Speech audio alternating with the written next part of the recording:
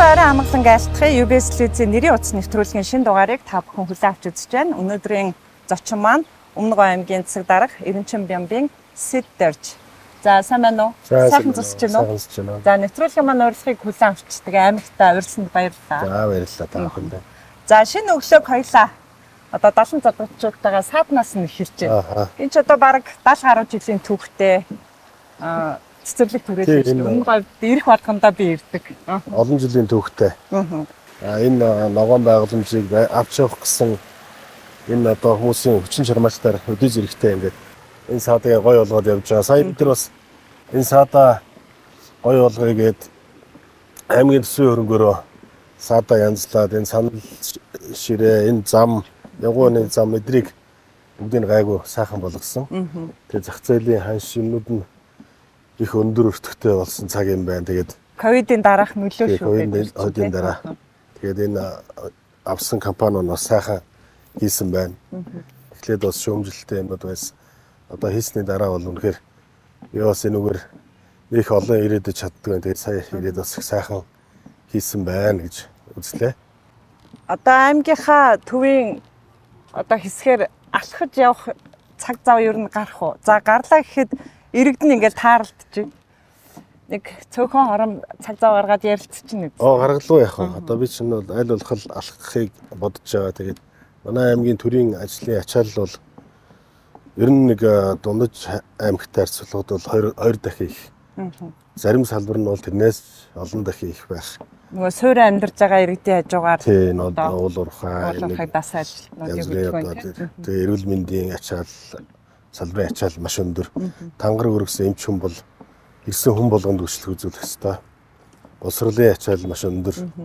Тэгээд энэ цаг зав гаргаад би энэ хөдөлтооны төвөр их орох дуртай. Тэр гар гар дээрээс хөдөлтоо 8 хийж байгаа хүмүүсийг дэмжих их дуртай. Энэ одоо нөгөө аа гэдэг чтэй тий. Тэр одоо нөгөө архины хамааралтай бас нэг амьдралаа бас босгочих гэсэн ажилтаа болгочих гэсэн гэсэн хүмүүстэй уулзах их дуртай Тэгээ наркологийн эмнэлэг аймагтаа байгуулж байгаа энэ ашиглалтанд орчвол тэдрийгээ сайхан эмчлээд тэгээд энэ ТС-ийн сургуультай хамтарч агаад үнэмлэх хэдэр болгоод ажилтаа орлоготой болгоё гэсэн юм бодолтой байдаг. За мөн одоо гар аргаар олборлож манай аймагч одоо ингээл уулуурхайд ажиллаад байна. Олон компани байна.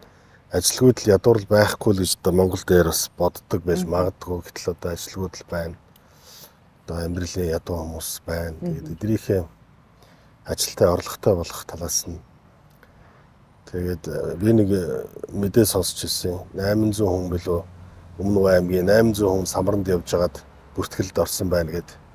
Тэр ч одоо энэ олон уурхайд өөрийнхөө аймгийн хүмүүсийг оруулж чадахгүй байна даа л гэж одоо бодож байгаа. Тэгээд тэрний төлөө энэ уурхай компаниудтай ярьж хөөрч тэгээд энэ тэр уурхай хүний нөөцөнд тэнцсэн мэрэгжил сертификатыг юу өгөөд тэгээд оруулахгүй бол одоо энэ чинь одоо нэг ам ажил хоёр зөрөөд байгаа байхгүй. Том зураглаар хараад ий. Тэгээд зураг дараад яваар яриад байдаг юмтай чинь манай бодит тэмдэглэл зөрөөд байгаа учраас энэ зөрүүг л арилгаж хүмүүс ажилдаа орлох талаас нь л их анхаарч ажиллаж байна. За хоёлаа хэсгийн хугацаанд тухлаад ажил яриад байна уламжлалт асуулт байдаг юм. Танд хэдэн нэрийн утас байдаг вэ гэсэн асуултанд та хариулна уу?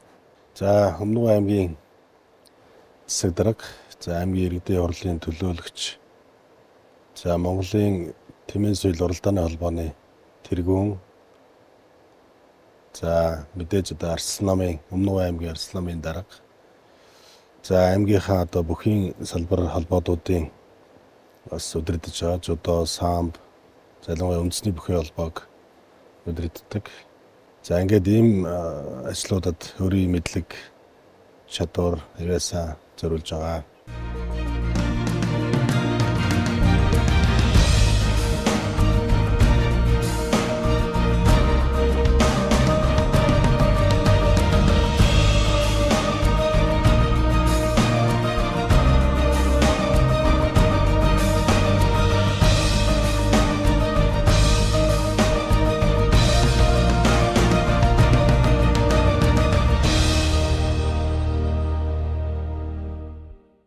Сайхан ногоорцсон. Гэхдээ энэ одоо услага байгалийнхаараа байна уу? Эсвэл нөөцөөр усалж байна уу? арчилж хамгаалах. Энэ манай далангийн голын цөөрмийн утсаар л усалдаг. Тэгээ далан задгай, далан задгад гэдэг бол далан задгай гэсэн юм домогтой. Тэгээ уулнаасаа юм далан задгай урсдаг гэсэн юм баг. Тий. Тэгээ одоо тийм том гол биш шүү дээ. Тийм нарийнхан одоо тэгээ далангийн цөөрөмдөө нэгдэж байгаад ингээд наашаа урсгадаг. Тэгээ бидний хөөхд байхдаа ингээд ус энүүгээр урсдаг, бүр жарахаа идэр төөдөг гэдэр байсан.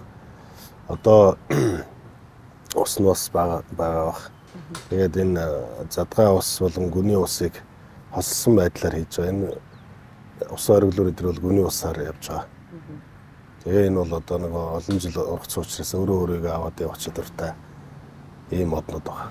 Би бас анзаарлаа өчигдөр энд ирээд хоноход нутгийнхан маань нар жаргаад сэрүү орохоор яг эндээ цугладаг юм билээ шүү дээ. Одоо Тийм. яа харахгүй. Бас нэг говийн нөхцөл байдал. Юм говийн нөхцөл байдал чирээс ороо одоо зуны халуунд бол их өдөр гараад байхгүй нар шиг аюултай учраас орон сэрүүнд одоо хүүхдүүдээ гаргадаг өөрөөсөө бас агаарт гарддаг ийм аймгийн бас онцлог байна говийн онцлог байна тэгээ 20 аймаг 9 дүүргээс хүн ам шилжиж ирж байгаа за яг манай аймгийн нутаг дэвсгэрийн хувьд бол 76 мянгаас гадна бол нэг 120 30 мянган хүн. Бас манай аймагт бүртгэлгүйгээр явуулын хүн амын тоо гарч байгаа. Тэгээд энэ уулуурхайн олон компани, туслан гүйцэтгэгч компаниудын ажилчид төр орсон сууж байгаа хүмүүс гээд нийлээд нэг одоо үндсэн иргэдтэйгээ 200 мянган тэгээ 200 мянган хүн одоо амьдарч байна гэсэн юм. Гар утасны хэрэглэгчийн судалгаагаар бид нэг юм ойролцоо тоо гаргаж ирсэн. Тэгээд үндсэн хүн амнасаа гадна энэ олон хүнийг ажиллаж амьдрах нөхцөл болцоогоор говийн одоо ард түмэн манай аймаг хичээж ус төрийн үйлчлэгийг үзүүлж байгаа. За иргэдийнхээ одоо амьдрах орчин нөхцөлийг сайжруулах үүднээс одоо аймгийн төсвийн орлогоо одоо иргэдийнхээ хамгийн өндөр шаардлагатай байгаа энэ зүйлүүдээс эренбэлж бид шийддэг төсвийн тухай хуулиараа сумдууд нь хоорондоо маш хол аймгийн төвөөс аслагдмал зам маш муутай өвчтэй зовлонтой хүмүүс наашаа зорчих барих одоо бараа таваараа зөөхөд зам мэц байдаг учраас бүх сумдуудаа аймгийн төвтэйгээ засмал замаар холбох ажлыг орон нутгийн засварын оруулалтаараа тасралтгүй хийж жил болгон чармааж байна. Анны хүчиндүүд энэ баруун гурван тэс баян далай сэврэ ноён сумдуудын ард иргэд бол их баяртай байгаа.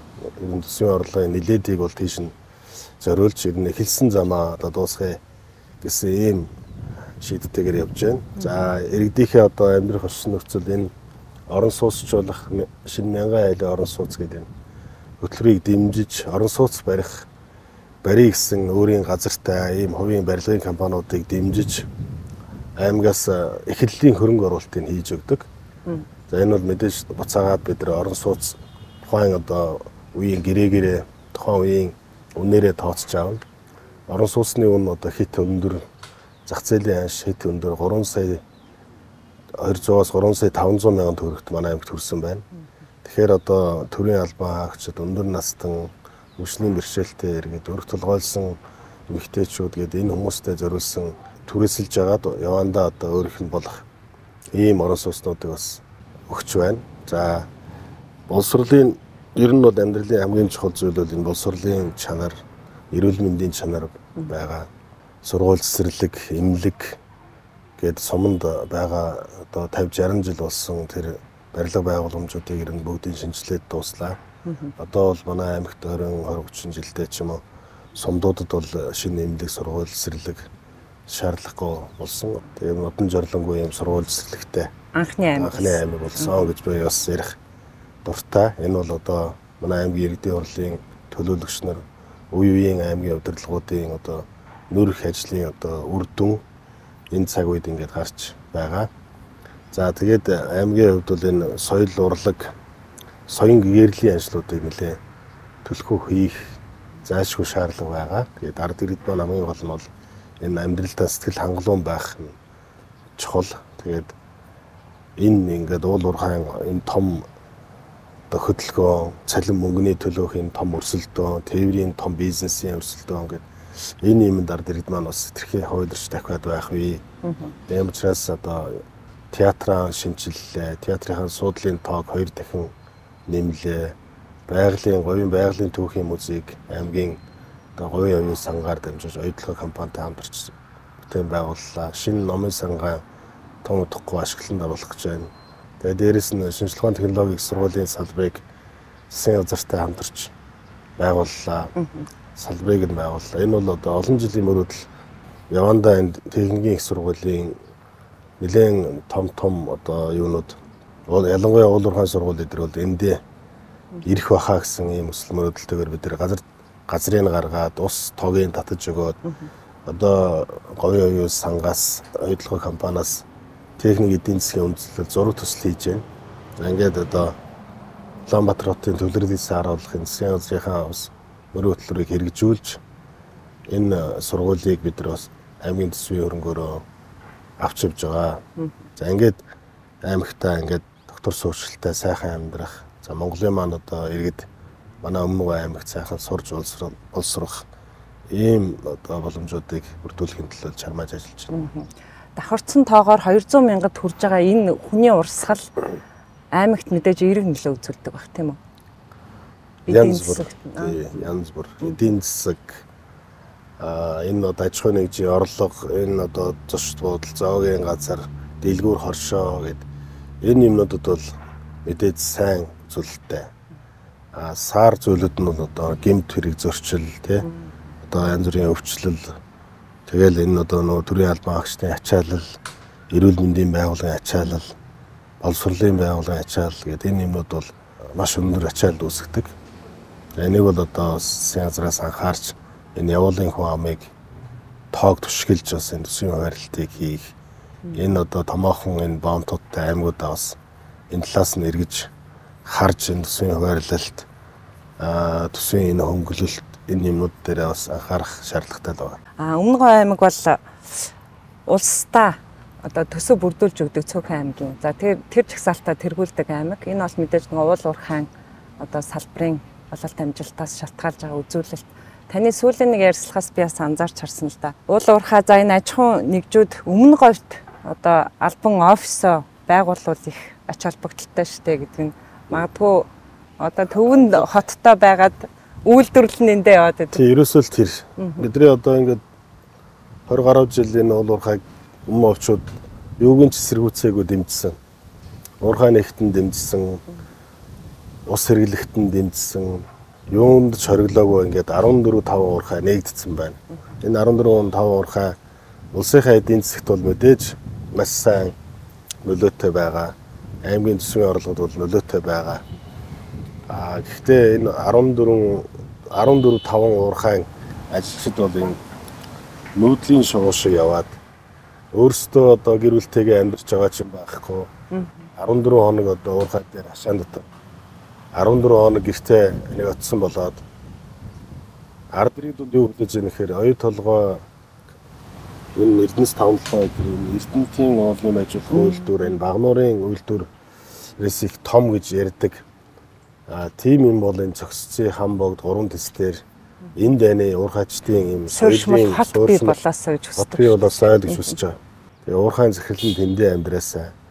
Уурхайн удирдлага нь энэ говийн салхи хаанаасаа юм говьд хаана мод тариул зөвлөлтөөс хамгаалахын гэдгийг мэдэрч амьдраасаа л гэж хүсэж байгаа.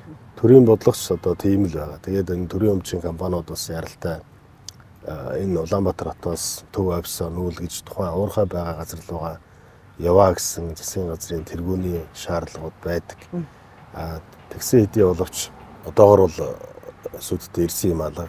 Энд амьдрдгүү захирал дарга нар ч нь бол шийдвэр гаргах Хүний нүдээр л харна. Яг шууд хэлэхэд бол тийм. А тэгээд энэ ард иргэдийн уур амьсгал чинь эндэн байгаа цэглэлтэй ч юм уу хаад айгуу тийм дотн илгэмсэг тий бас нэг мах сүгэ ингээд зарчих тий таньдаг одоо танимхайраал ийм юмнуудыг харилцааг хүлээгээд өгдгийг. Тэгээд яг энэ ростын систем гэдэг бол хэдийгээр их цэвэрхэн систем боловч юу юм шиг харагдаж байгаа боловч энэ гэрүүл салалт, энэ одоо өвчлөл, энэ автоэврийн осол тийм ээ сая автобусаар ээлж солих гэж байгаад одоо Төв аймгийн нутагт аюу тум аваар гарлаа шүү дээ. Энд чинь бол ерөөсөө л тэр 14 хоногт ингэж ажилчдыг холноор нь зөөдөг юм юунаас л болж байгаа юм л да. Тэгээд яг уу одоо ингээд Улаанбаатар хоттой багталцахгүй байна гэж яриад байгаа яриад байгаа боловч одоо яг эндээ ингээд төрийн бодлогоор ингээд урхан офсуудыг орон сууцнуудыг ипотекийн зээлтэй аюугээд холбоод холбоод ингээд өгчвөл боломж бол их байгаа. Тэгээд одооноос л ойдлогоо ойлгож байна. Одооноос эрдэнэс таамаглага ойлгож байна. Одооноос барилга байгууламжаа одоо тухайн бүс нутагтаа бариад ингээд эхэлж байна. Ер нь энэ нөөц дуусахаар үлдсэн хотын сүнсэн хот гэдэг ингээд юм уул уурхай нэг юм орчин үеийн ч юм уу нэг барууны тийм онол байгаад байгаа. Энэ бол манай говийнханд бол үнэхээр тэрийг ярих ярьж байгаа хүнд бол үнэхээр дургу. Тэр хамбогдод тэр ойдлогоо байхаас өмнө хүн байсан. Байсан. Амьдрал байсан. Цаашдаа ч ойдлогоо байсан ч байгаагүй цаашдаа ингээд тэр сайхан галбын гойд амьдрал цаашаа үргэлжлүүлсээр байх болно. Бид нар хамгийн ухаантай, бид нар хамгийн сайн менежмент явж байгаа үеийн хүмүүс бол биш шүү дээ. Түмсрээс өөр хөөхтдээ тэр 5000 жилд нэг удаа олддог сэргээгддэг тэр байгалийн нөөц буюу гүний усыг нь л өөр хөөхтдээ үлдээж хөдөлөө одоо гадрын ус авцарч те олон жил ярьсан тэр гэрлэн гой, орхон гой гэдээ олон жил ярьсан. Тэр уснуудын нэг 3% нь авчрахтал энэ хил маргаантай байгаа энэ тэмээ малын цангаад байгаа энэ малчтай булаацалтаад байгаа ч юм шиг энэ уулуурхайн байжуулах үйлдвэрүүд бол хангалттай устай хэдэн сая модч тарих устай юм л болох юм. Одоо усны асуудал бол үнэхээр тулгамдаад байгаа учраас би ингээд шууд усны сэдвэр ингээд ороод байдаг боллоо. Өөрч одоо аргаалга 21 аймгаас бол хамгийн түрүүнд тусгай болж байгаа аймаг манай аймаг. Бусдын аймаг бол одоохондоо гайгүй байна. Бид бол хамгийн үнэтэй ус сууж байна. Хөлчүүд бол 1 литр ус 50 төгрөгөөр болж авч шүү дээ одоо. 1 литр ус. 10 литр ус ч одоо хэд 500 төгрөг. Тэгээ тоон ус 5 50 мянган төгрөгөөр манай хамбогд сумын хайрхан багийн иргэд маань авч байна.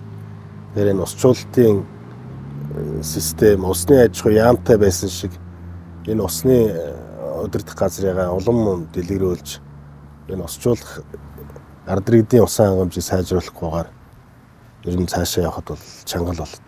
Одоо та хэд хоёр Өмнөгөө аймгийн бас шин бодлогоор хэрэгжүүлж байгаа одоо үйлдвэрлэлийн бүсэд ирсэн байна тий. Одоо тун удахгүй эрх намар гэхэд ашиглалтанд орох ингэний сүүн бүтээгдэхүүн зах зээлд нөлөөлөх том бүтээн байгуулалтанд ирсэн зогсож байна. За энэ бидний энэ ирсэн газар бол үйлдвэр технологийн паркийн бүс байгаа. Тэгээд бид нар бол энэ аймгийнхаа төвөөс салхин доотлолтой ямар ч үйлдвэр барьж мэднэ. Тэгээд салхин доотлолтой энэ үйлдвэр технологийн паркийн бүсийг байгуулж энд одоо хуулиараа 5 жил үйлдвэр эхэлсэн цагаас хойш 5 жил татвараас чөлөөлөгддөг. Одоо үйл ажиллагааны бүх татвараас гэсэн үг үү? Тийм, ер нь бол одоо яг ийм ийм татвараас гэдэг юм За ингээд энэ газрыг бол бид нэр ингээд төсөл сонгуульчлуулалтаар үн төлбөр өгж байгаа. За ингээд энэ ингэний тэмээний фермийг бол үе үеийн засаг дараанаар үе үеийн одоо намууд иргэдийн хурал мөрөөдлөлтөд оруулж хэрэгжүүлж ирсэн. Тэгээ цаг үеийн одоо ингээд энэ цаг үед биелэлээ олж энэ хувийн хвшлийн энэ хувьцаа эзэмшигчтэй хувьцаат компани өөрсдийнхөө хөрөнгө оруулалтыг мөн дээрэс нь Азийн хөгжлийн банкны санхүүжилтээр зээлээр за ингээд э, манай аймгаас 1.5 тэрбум төгрөгийн одоо тендерт орцсон явж байгаа. Тэгээ тун утгагүй шил хараад ингээд энэ үйлдвэр маань цогцолоод тэгээ цагт 500 литр сүг хуурай сүг болгох мөн дээрэс нь хуурай сүг болон шингэн сүг савлж зах зээлд нийлүүлэх ийм боломжтой ингийн сүү сүүний үйлдвэр байна. Тэгээ эндээс 10 гаруй километрт ингэний сүүний ферм байгаа. Тэгээ энэ фермүүдийг олон болгож иж энэ үйлдвэр маань бас доктортой ажиллана. А мөн одоо айлууд маань бас сүүгээ нийлүүлэх боломжтой.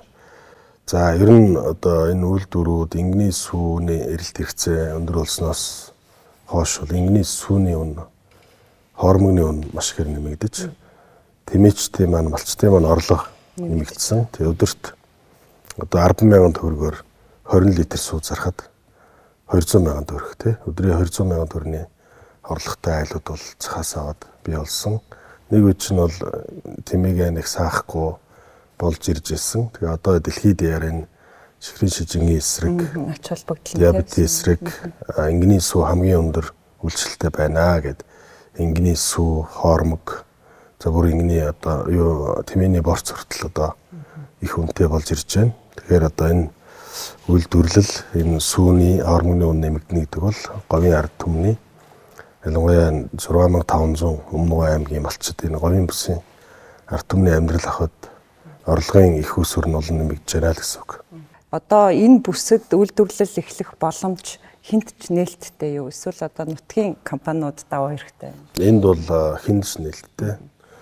Тэгээд энэ ажлын байруудыг бий болгох өмнө аймаг ялангуяа далан задгад баруун сумдууд, уул уурхайгүй сумдуудын ажилгүйдлийг бууруулах зорилгоор энд эхний ээлжинд энэ сая ноосны үйлдвэр, хогулсруулах үйлдвэр, игний сүний үйлдвэр, за саяхан оюутлогоо компанид бүтээгдэхүүн нийлүүлдэг Улаанбаатар хотод байдаг компани нүүж шилжирж үйлдвэрлэхээ салбарыг энд байгуулж байна. Тэгээ уулуурхай хангам нийлүүлэлтийн үйлдвэрүүд ажлын байр бий болгосон үйлдвэрүүдийг бол бид нар найрсгаар хүлээж авч тог ус цахилгаан зам гэд энэ гурван зүйлээр нь хангаад мөн бохирын систем гэд ингээд үйлдвэр байгуулахад бүрэн боломжтой болгож энэ үйлдвэр технологийн паркийг зохион байгуулж төлөвлөж тохижууллаа. Одоо ер нь яг энэ орчинд шинээр үйл ажиллагаа хүлээгдэж байгаа төсөл байна уу?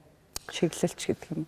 За одоо бол э, сав баглаа бодлын одоо оюутлогоон тэр дээжийн байжмлын уут сав баглаа бодол оюутлын үйлдвэр гээд одоо ингээл цаашдаа бид энэ төслүүдээ ингээд зарлаад энэ нутгийн шиг хөтөлбөр дээр ямар ямар үйлдвэрүүдийг дэмжиж гисэн энэ чиглэлийн даваа бид зарлаад ингээд цаашаа явна. За баярлалаа. Хоёлаа ажлаа бас таны албан өрөөнд ажлынхны ярилцлагыг үргэлжлүүлэх хүсэл тавьж байна. За тий өнөөдөр нэг мегмар гараг манай аймгийн төрийн байгууллагуудын төрийн албан агч нар үндэсний хувцас өмсдөг өдөр байгаа. Тэгээ нэг дийл солих ажил гарах нь. Засаг дарганы захирамж орчаад өөрөө биелүүлэхгүй бол харин төрийн албан агчд бас юу гэж бодох вэ тий. За албан өрөөнд нь уулзъя тий. За. Тамийн газраар төрийн үйлчлэгээ авж байгаа иргэд таатай байдаг юм байна. Үндэсний хувцас, дээл хувцаараа ижилсэн төрийн алба өдөөс нь ингээд үйлчлэгээ үзүүлээ суухаар энэ та бүхэнд мэдрэгдэнэ үстэй. Анхын шийдвэрийг ер нь төрийн албаных нь хэрхэн хүлээж авч ив? Аа ер нь маш сайн хүлээж авсан. Тэгээ үндэсний хувцасаа монголчууд өмсөхгүй бол хийн өмсөхөө. Тэгээд төрийн албаа агчд бас өмсөхгүй бол бас хэн өмсөхөө.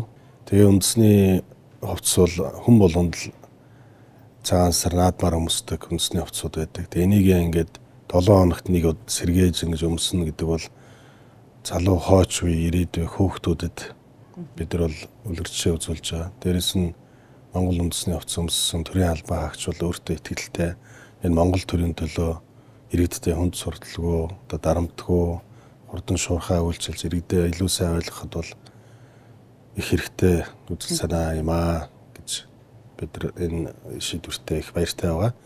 Өмнө аймаг маань энэ Монгол орныхон үүдэн хоймор болсон, үүдэн босоо болсон ийм аймаг учраас энэ үндэсний үзэл санаа монголоороо байх. За ингээд манай аймаг чинь энэ Батмөх Даян хааны хаан судалгааны ажлыг ивэн тэтгэж санхүүжүүлж явдаг ийм аймаг.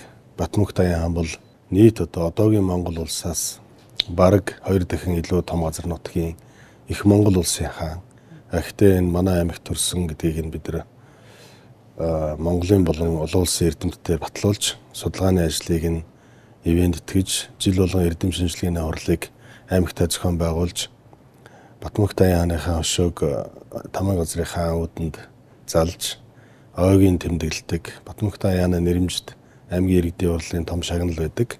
Жилд нэг хүн шагналдаг. Тэгээ ингээд бахархаж явдیں۔ Тэгээд манай аймгийн шийдвэрийг бас бусад аймагуд санаа авч 7 хоногийн бас өдрүүд дээр ингээд манай аймаг шиг юм шийдвэрүүд гарч байгаад баяртай байгаа. Нэрийн утас нэвтрүүлгийнхаа зочдын аль ч салбарт нэрийн утас нь сөхөгдөж магадгүй гэд би бас дээл хувцаа зэхэж явдгийн дээлээрээ гоёх нэг шалтгаан болсонд баяртай байна. За баярлалаа. Монгол улсыг зорин ирж байгаа жуулчдын хувьд тэргүүн игнэнд бол одоо говьроо очиж үзмээр байна тий. За нөгөө талаар жишээлбэл Өмнөгөө аймгийн за Хэрмэн цав гэдэгэд Монголд хэрэгжиж байгаа Марс Ви гэдэг төсөл бас бааз цорой болгож байгаа гэдэг том шалтгаан байдаг шүү дээ. Тэгэхээр энэ бол одоо аймаг бол өөрөө эдийн засгийнхаа одоо суур үзүүлэлтийн нэгдээ харахгүй аялал жуулчлалыг онцлсан байдаг. Тэгээ энэ тал дээр яриагаа өргөжтүүлье. Тийм Монгол улсын улсын маань зорж ирж байгаа жуулчдын 60-аас 70% гэдэг маш том тоо. Тэгээ Монголын говийг үзэж ирдэг. Тэгээ өмнө говийг ихэнх нь ирдэг гэсэн юм судалгаа байдаг. Яг харахгүй энэ эдийн засгийг солонгоруулах шаардлагатай. Төр бол бүгдийг нь шийдэх ямар ч боломжгүй. Уул уурхаа бас бүгдийг нь шийдэх ямар ч боломжгүй. Сумандаа амьдарч байгаа, аймагтаа амьдарч байгаа энэ хүмүүсийг бүгдийг нь уул уурхайд ажиллуулах ямар ч боломж байхгүй. Тэгэхээр эдийн засгийг солонгоруулах хамгийн том хоёр салбар бол хөдөө аж ахуй, аялал жуулчлалын салбар гэж бид нэр үзэж тэргүүн зорилттой авч явдаг. Жуулчтай хүлээж авах бэлтгэлэл хангаж байна бид харилцааны соёлоо сайжруулах хэрэгтэй юм байна. Бид англи хэлээ сайжруулах хэрэгтэй, бусад хэлээ сайжруулах хэрэгтэй юм байна. Бид цайны газар энэ дэлгүүр хоршоогоо эрт өглөө эрт дэлхийн одоо цагаар нээх хэрэгтэй юм байна. Ороо бас энэ хүмүүсийн чөлөө цагаа өнгөрөх бар ресторанаа сайхан ажиллуулах хэрэгтэй юм байна. Энэнд манайхан дасаж зохицох хэрэгтэй. Тэгээд энэний тулд энэ аялал жуулчлалыг дэмжих хөтөлбөрүүдэд чиглүүлж байгаа гадаад гэлтгөө дотоодын аялал жуулчлал маш хөгжиж байна. Бид нар энэ сумдууд руу тавьж байгаа зам бол энэ дотоодын аялал жуулчлал, гадаадын аялал жуулчлалыг чиглэсэн давхар юм зорилготой зам байгаа. За ингээд өлөг гөрүүлийн дэлхийн тэр олдурууд үнэхээр л Өмнө аймгийн нутаг дэвсгэр дээрээс одоогоос 100 жилийн өмнөөс олдоол хэлсэн. Одоо Нью-Йоркийн түүхийн музей, байгалийн түүхийн музей энэ бусад орнуудад байдаг олдуруудад ихэнх нь одоо Өмнө аймагт холбоотой учраас энэ байгалийн түүхийн музейн дотроо бид нар энэ Батар гээд Америкаас буцаж ирсэн динозаврынхаа A копиг нь залсан. Одоо яг ориг нь бол одоо ингэж олон төмөд үзүүлж бас болдгоо юм байна. Тэнд одоо хөөхөд гар хурж болохгүй янз бүрийн юмуд байдаг учраас A копиг нь залсан. Тэгээд үнэхээр манай байгалийн түүхийн музей бол им донжоо олсон их сайхан хүн болгон үзхийг зорьсон. Аймгийнхаа нэрийн одоо нүрийг дахалсан ийм байгууламж болсон. За тэгээд хонгорын гол дэмжгийн хід хэрмэн цав алдарт ёлын ам мэдрэлүүгээ бид нар дид үтцээ явуулж 0 одоо бусад хүн амьдрахад хүн очиход хэрэгцээ шаардлагатай бүх үйлчлэгнүүдийг нь авичхыг үе шаттайгаар хийж хэрэгжүүлж байна. За дэлхийн энергийн төв буюу дэмжгийн хід. Ер нь хамрын хід дэмжгийн хід хоёрын хооронд бол энергийн холбоо энергийн холбоо байна гэж судлаачд үздэг юм лээ. Тэгээд дэмжгийн идрүүгээ ямар ч жижиг машинтай Монгол улсын жуулчд гадаадын жуулчд очих боломжтой зам тавьж байна.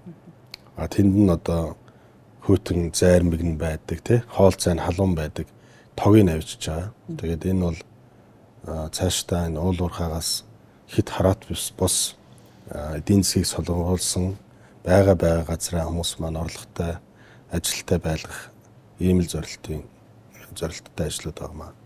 За цаашдаа хил орчмын аялал жуулчлал бид нар олон жил ярьлаа. Хятад улсын э, иргэд маань бол энэ хуурай газрын хөлийг үзэх гэж манай бомтууд дээр ирээд э, сая саяараа ирээд бомтын хөлийн баган дээр зураг авахулчаад цаашаа явдаг. А энэ бол хоёр улсын засгийн газрын тохиролцоогоор наашаа 72 цаг наашаа хэд хоногоор визгүйгээр зорчих боломжтой болж байгаа. Тэгээд энэ хил орчмын жуулчдыг хүлээж авахд бид бас бэлдэж байна. Манай жуулчны компаниуд, баазууд бэлдэж байна. Тэгээд энд бол цаашдаа бол их ирээдүй байгаа. Таны хувьд бол 40 иргэм насны. Тэгээд үүнийхээ дийлэнх цаг хугацааг өмнгийн говьдо өнгөрүүлсэн юм сте.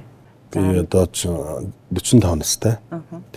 Тэгээд энэ яг цогтуул сум та бүдийн дайрч ирдэг зам дагсан энэ цогтуул сумд тэмээ маллаж, тэмээ чин айлд өвөө эмээ дээрээ өссөн.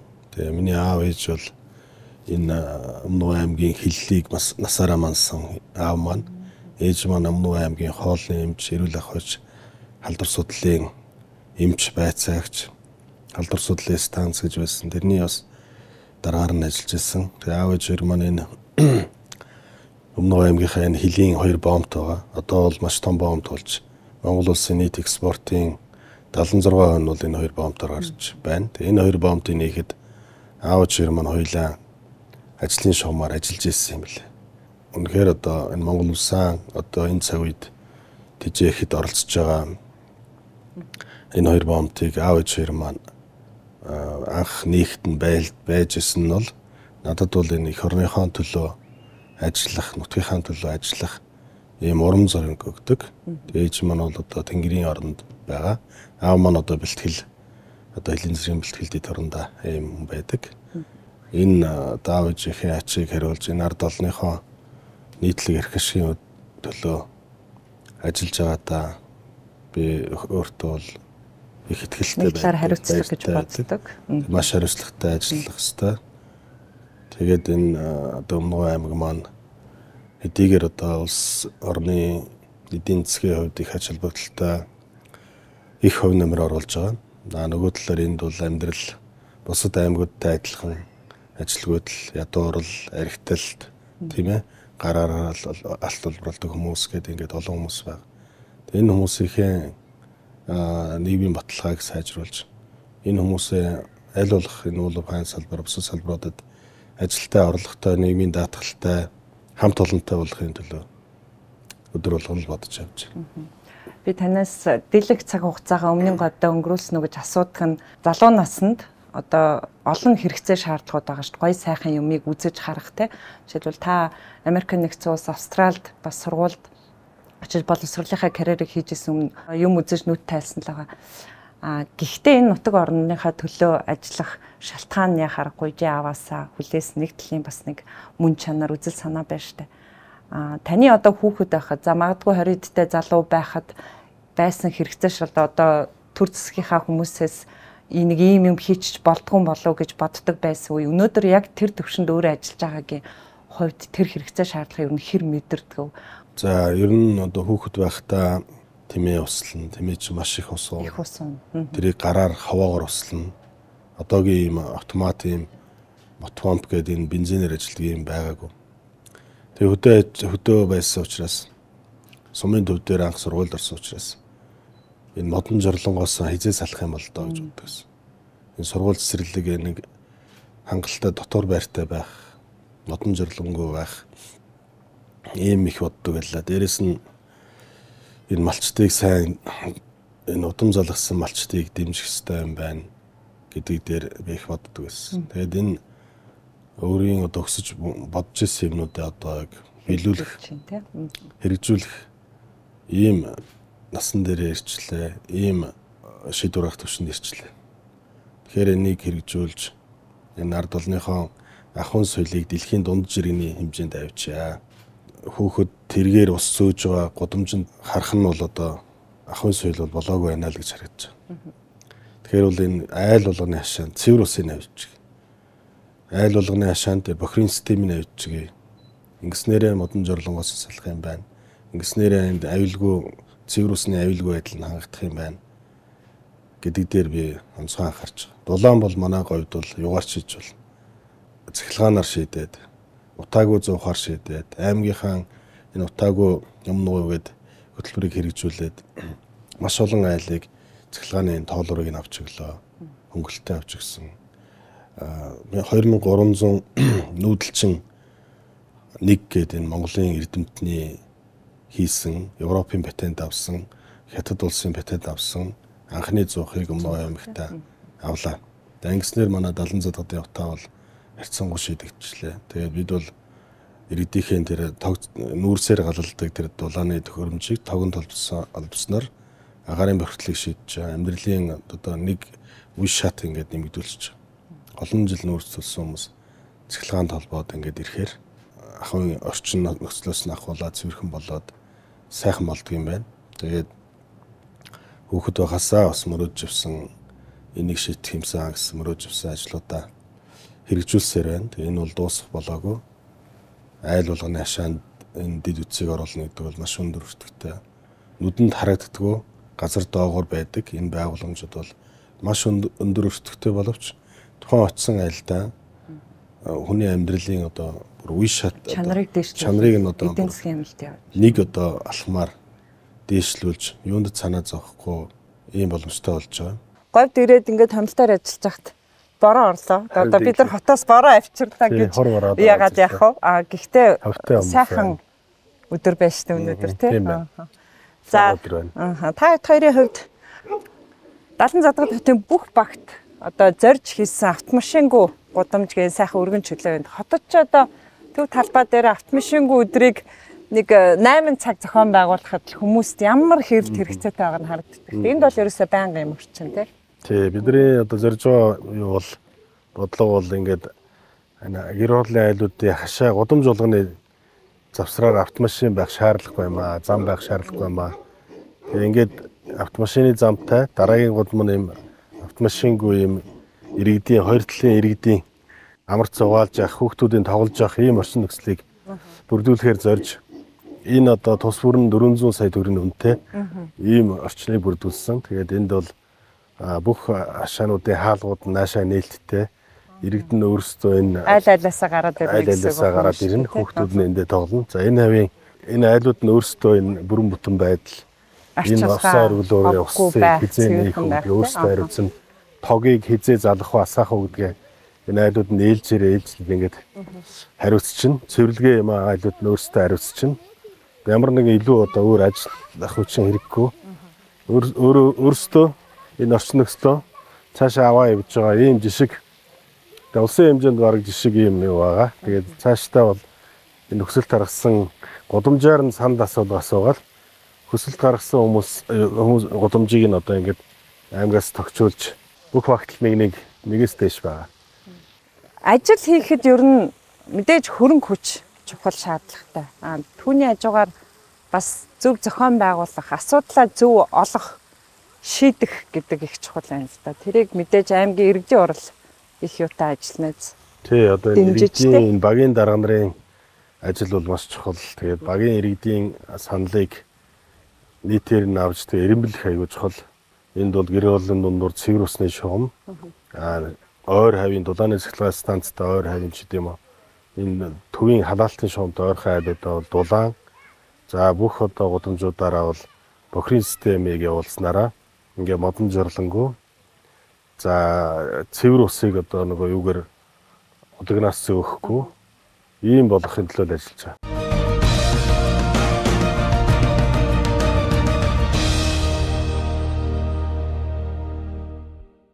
А мэдээж энэ бол э, нөөц ашиглаад ингээ байнгын эргэлттэй юм юм учраас ер нь иймэрхүү шийдлүүдийг хийхэд гайгүй хялбар үсттэй. Тэгээ энэ бол одоо орчин үед энэ жижигтэр ийм осоор өглөр бол айгүй энгийн болцсон байна. Тэгээд энэ бол ингээд өөрөө өөрийгөө энэ усаа ашиглаад ингээд цаашаа ингээд явцдаг.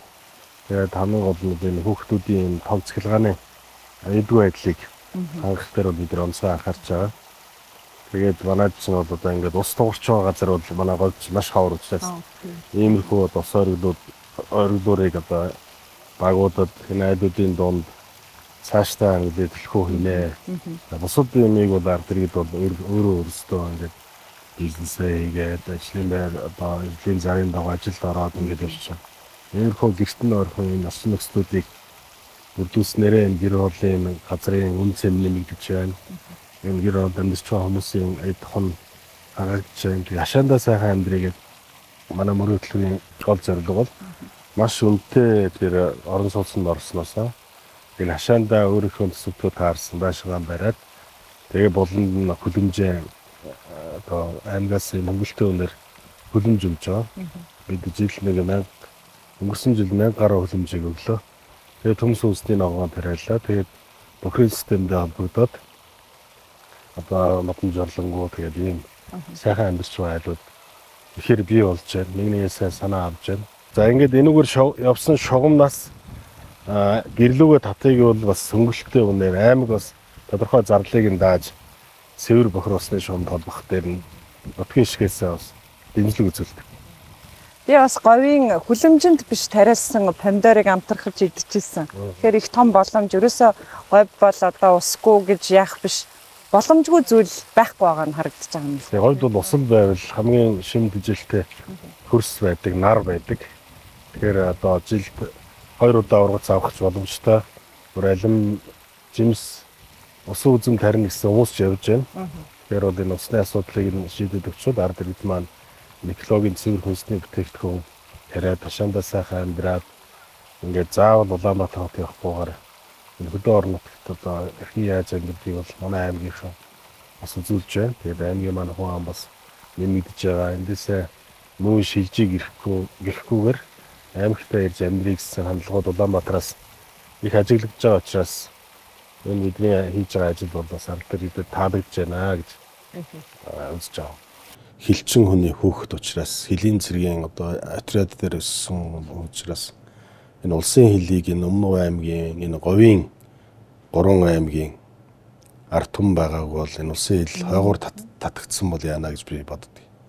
Тэгээ энэ хоорондоо хол хол зайтай нэг нэг усан дээр нэг нэг айлал байх боломжтой усны хөврөлцөө. Энэ олон айлууд байгааг бол говийн ард түмэн байгааг бол улсын хил энэ өнөөдөр Монгол улсыг эдийн засгийн хувьд авч явж байгаа тэжээж байгаа энэ олон төслүүдийн хойгоор хил татагдсан бол өнөөдөр бид нар яах байсан бол гэж би бодож авдээ.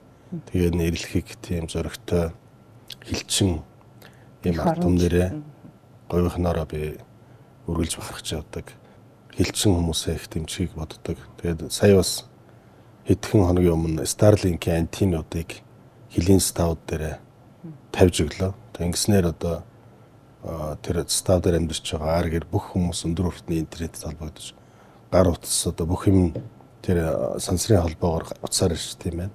Иймтэй бас болгож өгч байгаа. Аймгийн татвар төлөгчдийн мөнгөөр үүсэж байгаа энэ аймгийн төсвийг энэ аймгийн ард түмний одоо язгуур ирэх шиг юунд зарцуулах вэ гэдгийг л одоо энэ аймгийн төр засаг хийж байна. Аймгийн иргэдийн хуралдаа их баярлж байгаа. Манай аймгийн иргэдийн хурал бол энэ говийн ард түмний язгуур эрхшгийн үднээс гаргаж байгаа шийдвэрүүд дээр бол дандаа 100% байдаг. Зэгээр одоо сонгуулиар хоорондоо өрсөлддөг ч гэсэн дандаа 100% байдаг. Бидрээс хайшч энэ аймгийн удирдлагууд ийм бас зарчимтай байх хэрэгтэй. Хэвлэл мэдээлэлээр гарч байгаа энэ зүйлүүд биднийг харлуулах гэж гарч байгаа янз бүрийн зүйлүүд л байдаг. Ер нь л одоо бараг 180 градус эсрэгэл юм шиг санагддгийг. Тэгээд хүн мэдээж янз бүрээр л одоо улс төрд өрсөлдөгчөө одоо намнах барих гэдэг юм зүрх юм байдаг л бах. А гэхдээ энэ манай говийн ард түмнийг дүгнээд байгаа энэ юмнууд бол дүгнэлтүүд бол их зөрүүтэй шүү. Эдийгээр дуу дуу шууд цөөтэй байж магадгүй. Хүний урдуур одоо ашгараад байж чадахгүй байж магадгүй. А гэхдээ хамгийн одоо чамбай хамгийн одоо төсвөртэй хатуужлалтай энэ Монгол улсын тусгаар тогтнолыг авч явахад бол их чамбай үүрэг гүйцэтгэж байгаа хүмүүс л говийн ард томлогч бодож байна. А Улаанбаатар хотоос бол 600 км зайтай өмнө говь. За өмнө говийн төвөөсөө захын хамгийн одоо аслагдсан сум гэхэд 330 гаруй км зайтай байгаа иргэд заавал хот хүрээ орж одоо соёл урлагийн үйлчлэгээ авдаг биш. Эндээ бас одоо үйлчлэгээ авахын боломжийг бүрдүүлсэн баг. За энэ тухай яриагаа үргэлжлүүлье. За манай энэ битэрийн сууж байгаа театр бол за ер нь 800 тонны судалтай.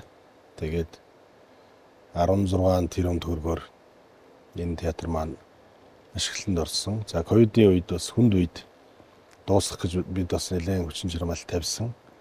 За энэ манай театр, музей, номын сан, энэ сургууль, цэцэрлэг гэдэг эдгээр бол хуучин манай аймгийн нис хонгосны буудлын талбай байгаа.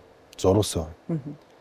Тэгээ энд хойч хонгос буудаг гэсэн. За энийг бид нар ингээд нис хонгосны буудлаа хойш нь шилжүүлээд манай аймгийн засаг дараа Бадраа дарга, хурлын дараа Бочлон дарга нарын үед за тухайн үед бас их хурлын гишүүн Даш Тэмрэлийн Бат Эрдэнэ Цэвэлмагийн баяр сайхан сайдууд эс. За энэ хүмүүсийн үед бол энэ шин суурьшлийн бүс 90 гааг энд бүрэн төлөвлөлтийг зохион байгуулж хийснээр өнөөдрийн энэ барилга байгууламж барих газар олголт бүх юм нь бол тэр үеэс шийдсэн.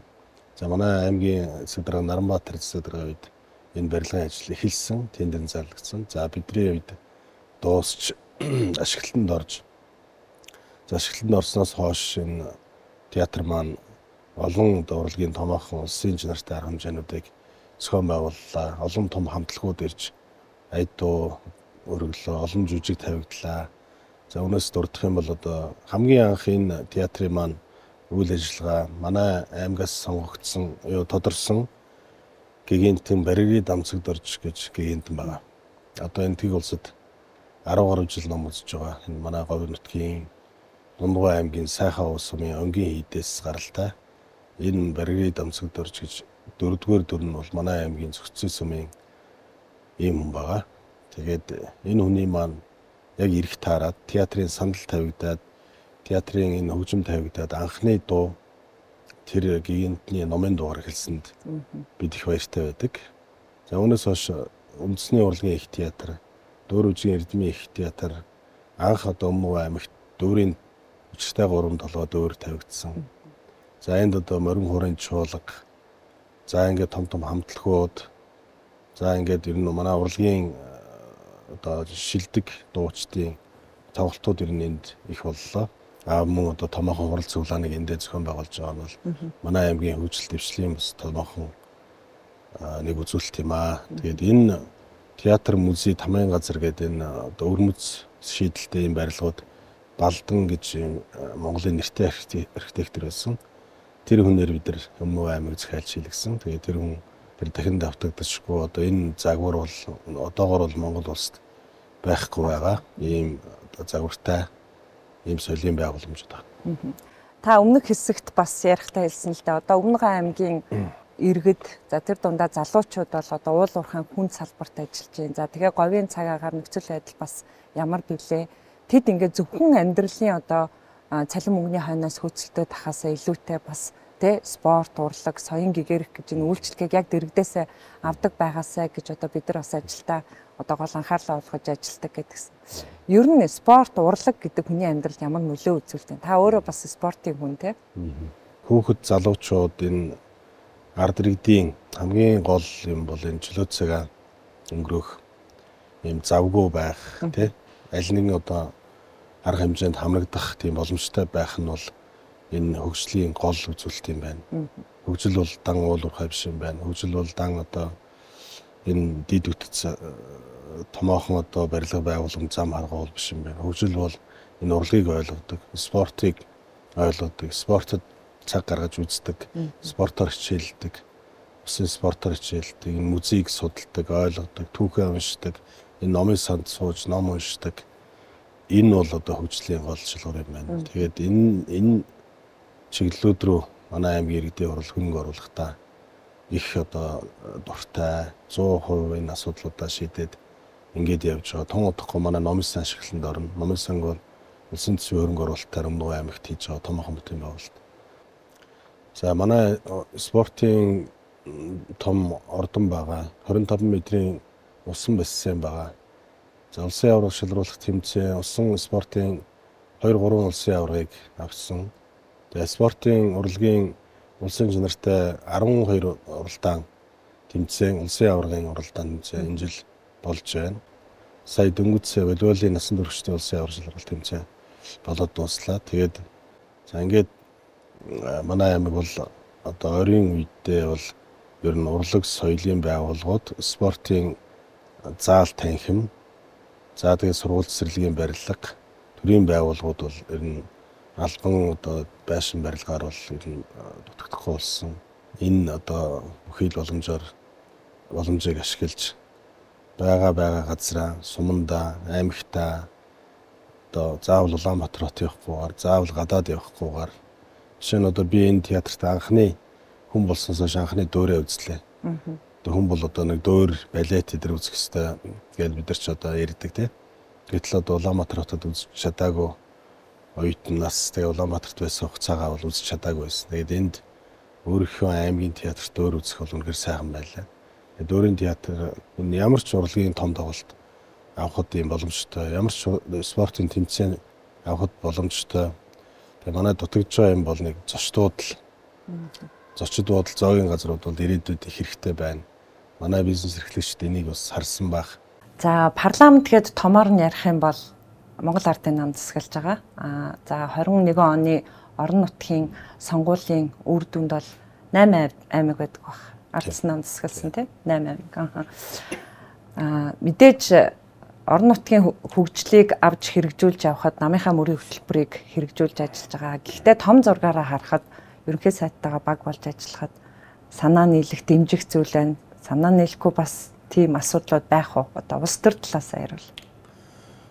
Энд дээр бид нар ер нь эрх ашгаа хойш тавих хэрэгтэй юу? Ер нь та яаж ямар зарчим барьж ажилладаг юм? За Монгол улс маань бол нэгдсэн улс. Тэгээд Монгол улсын одоо эдийн засгийн одоо хамгийн том аймгийн хувьд бол засгийн газрын ажлыг одоо бүрэн дүүрэн засгийн газрыг төлөөж ажиллах юм бол аймгийн засаг дарга байдаг.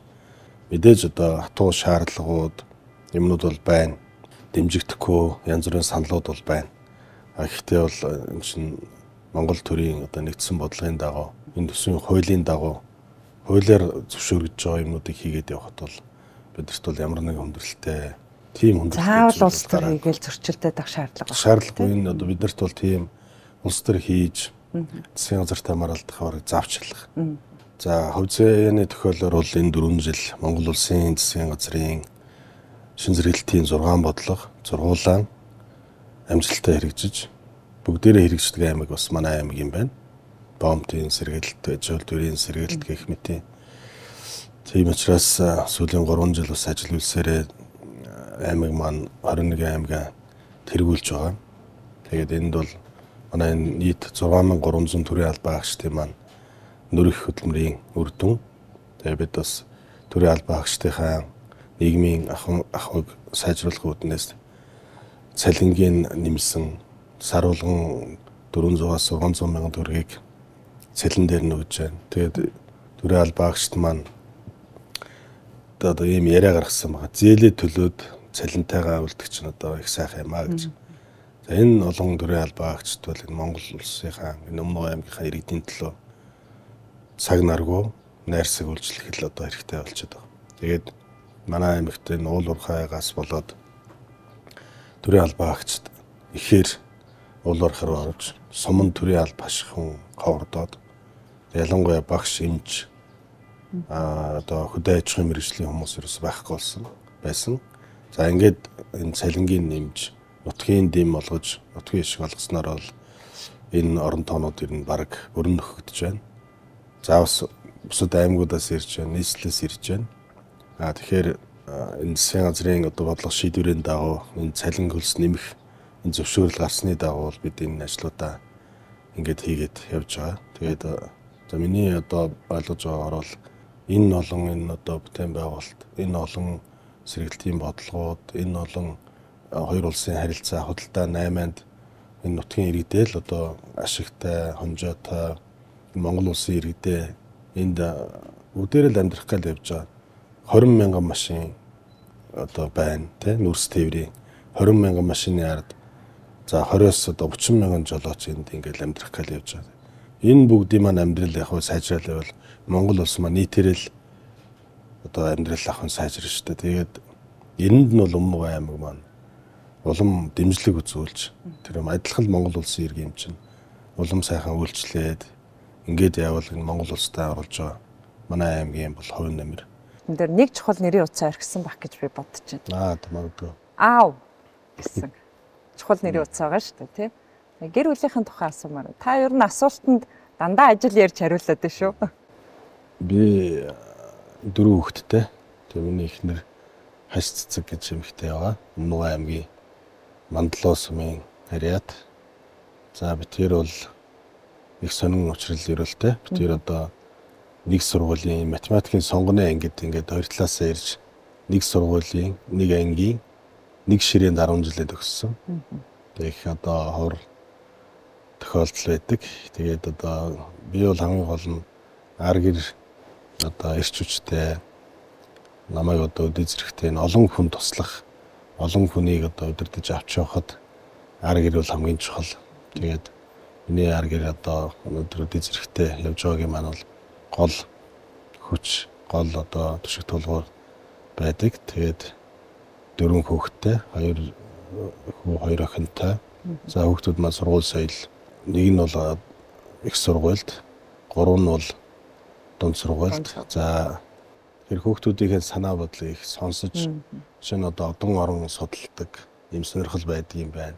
Нь одоо beatbox тий одоо бидний одоо огт бидний үед бол огт байгаагүй юмнуудыг одоо хүүхдүүд сонирхдаг юм байна. Тэгээд энэ бүх сонирхлуудыг бол олон дэмжиж ингэж явал хүүхдүүд бол үнэхээр бас өөрийнхөө зорьсон зорилгодоо сэтгэл хангалуун ингэж өссөн хүүхдүүд бол мэдээж Монгол орондоо ирээдүйд одоо сайн одоо аав ээж болж бас хүүхдүүдэд тэгж өсөл мөрөдлийн унтраахгүйгээр цаашаа ингээд дэмждэг аав ээж байж а өөрийнхөө хүүхдийг дэмждэг бол бусад хүүхдүүдийг дэмждэг тийм хүмүүс болж хүмүүжих юм байна гэж хүүхдүүдээс их суралцж байгаа.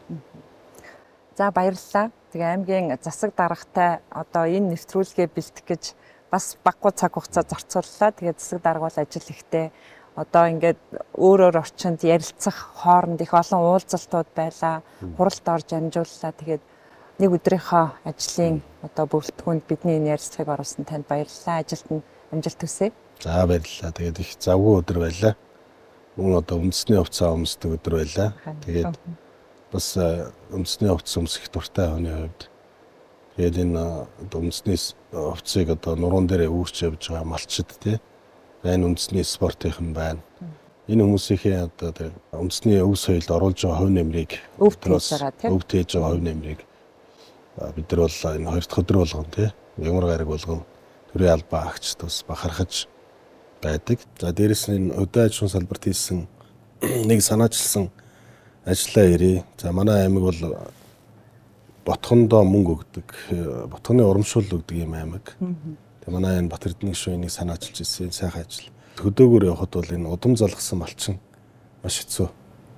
Залуу тэмээчд гэсэн үг шүү дээ. Тий, удам залгсан малчингүй айлууд байна одоо ингээл 40 50 настай яг энэ одоо энэ айлыг хэн үргэлжлүүл цаашаа авч явах нь тодорхойгүй хүүхдүүд нь бүгдээр их сургуульд явцсан хүүхдийн боловсролд ингээл зориулсаар байгаа л нөгөө хүүхдүүд нь Улаанбаатар хот тэр ээж авыг бас буруутгах харга байна явцсан буруутгах харга байхгүй а тэгэхээр бид нар ямар урамшууллын систем хэрэглэсэн гэхээр удам залгасан залуу малчин гээд үр хүүхдээ мал дээр гаргавал аав аав ээж нь малчин үр хүүхдээ мал дээр гаргавал 5 хантай гэрийг аймгаас олгож байгаа. Тэр бол тухайн гэр бол маш том дэмжлэг. Тэгээд энэ хөтөлбөр үнэхээр гоё явж байгаа.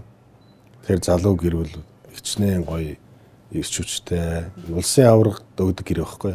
Улсын авраг малчинд өгдөг гэрийг аймгаасаа ингээд аймгийн төсвийн хөрөнгөөр өгч байгаа.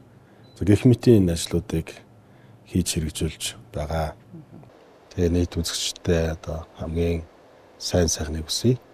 Монгол улс маань бол одоо гадаа ийм дайм байлтай алга гадаад шишин хоорондын бүгэлдөө алга яг одоо ингээд өсөглөн тий ядуурл их одоо амар юм алга ба штэ тийм учраас бид бол эвлэлдэж нэгдээд хөдөлмөрлөөд ингээд нийт монголчуудад ажилгүйдэл ядуурлгүй сайхан амьдрах бол өргөн боломж байна. Тэгээд бид бол их хөдөлмөрч ийм өвдөдсийн одоо өрсад юм учраас энэ уламжлалаараа бид эвлэлдэж нэгдээд их хөдөлмөрлөж Монгол улсаа энэ говийн бүс нутгаа энэ өмнө аймгийн улам сайхан болгохын төлөө бүгдээрээ хичээцгээе.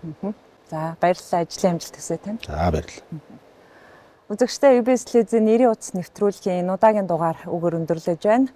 За өнөөдрийн зочин маань Өмнөговь аймгийн засаг дарга Эренчин Бямбын сэд дорж байлаа. Тэгээд одоо ажил үйлсээр эдийн засгийн энэ одоо чухал хүчрхэг байдлыг одоо зөв зохион байгуулалт олон салбарт хийх сэтгэлээрээ одоо амжилттай удирдах яваа үйл ажиллагааг үзэгч та бүхэнд хүргэн ажиллалаа.